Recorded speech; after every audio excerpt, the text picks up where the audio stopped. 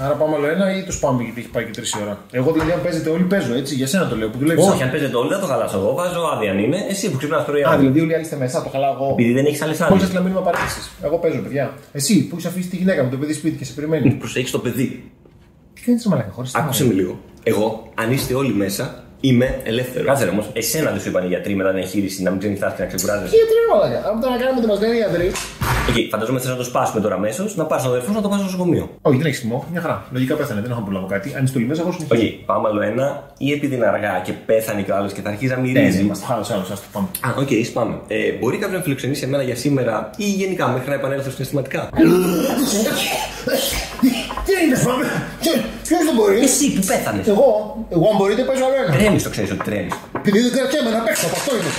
Μάλλον. Έλειπε και Α, Οκ. Έλατε, πάμε άλλο ένα.